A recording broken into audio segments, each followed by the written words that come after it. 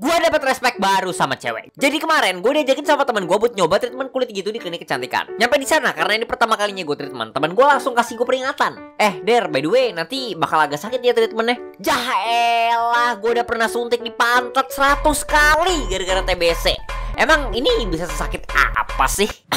gua bakal urutin dari yang paling gak sakit ke yang paling sakit. Yang paling gak sakit itu pas di laser, rasanya tuh cuma bener-bener kayak dicubit-cubit manis doang. Yang lumayan sakit tuh pas dicabut komedonya. Rasanya tuh kayak ditusuk jarum gede banget. Gua bisa tahan rasa sakitnya tapi teman gua gitu yang malah gak kuat. Lu bayangin aja, itu gue di ruangan treatment lagi tiduran, mata ditutup. Terus gue cuma bisa ngedenger teman gue teriak-teriak, ah, ah, ah. Ini sebenarnya kalau gua diem-diem dipindahin dari kamar kliniknya ke ruang penyiksaan untuk pengkhianat negara, gua jujur aja nggak bisa ngebedain sih. Terus yang paling sakit tuh ya, itu mesin uap. Lu tahu nggak sih, kalau lu lagi berbaring, mata ditutup dan lu disemprotin air, itu disebutnya apa?